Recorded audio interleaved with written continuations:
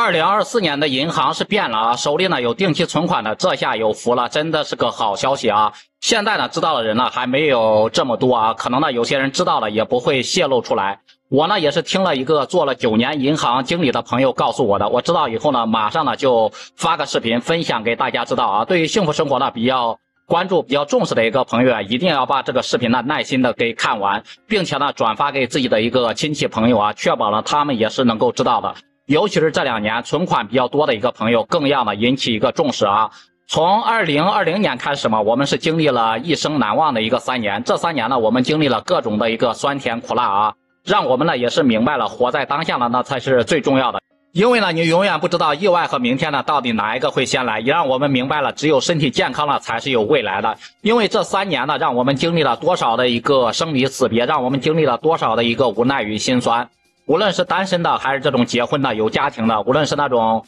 啊开公司、开工厂的，还是打工的、上学的，都在满怀希望中艰难的度过了一天又一天，然后一月又一月，一年又一年，终于呢，在二零二三年呢，算是解封了。全国人民呢也是欢欣又鼓舞啊，卷起袖子呢，准备大干一场，想着呢把这三年的一个损失呢全部给他夺回来。但现实呢却给满怀希望的人当头一棒。全国的一个经济呢，并没有如预测般的那样出现报复性的一个增长，而是有相当一部分的一个企业单位支撑不下去，而出现了一个裁员减薪啊。有些人呢，过了年之后呢，就收到单位的一个解雇通知。受到影响最大的当属现在的一个实体行业啊，由于受到网上购物经济的一个影响，以及购买习惯的一个转变，街上那种关门了、像转让的一个铺面，真的是随处可见。即使是这样啊，我作为我们普通人，该还的车贷、该还的房贷以及各种嗯卡债啊，还在继续还，这也让很多人明白了手中有钱，心中不慌的这个道理。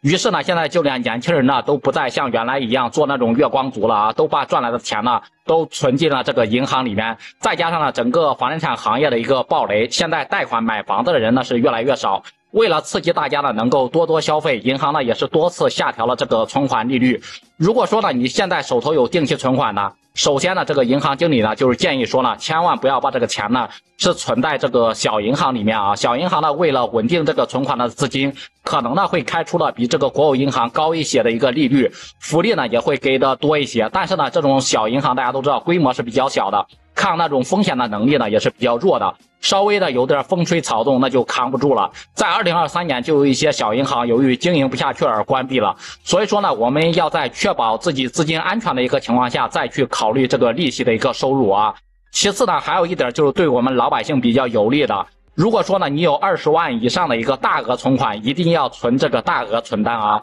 现在呢，一年期的一个定期存款的利率呢，大概是点一点八左右，已经是非常低了。如果呢是活期利率的话，基本上是没有了。现在的银行呢，为了稳定自己的一个银行存款金额，一般呢都有大额存单的一个配额。如果说你的存款呢比较多的话呢，可以到银行去咨询预约一下，以二十万大额存单存一年和银行的一个定期存款来对比啊，一年呢大概要多出三千多块钱的一个利息。所以说呢，如果说你的存款呢比较多的话，一定要去银行问问，让自己的收益呢尽可能的最大化。毕竟呢，咱们老百姓的钱呢，都是辛辛苦苦一分一分赚来的。呃，不知道呢，大家的存款都是怎么存的？也欢迎在评论区里面留言分享一下。我们下期视频再见。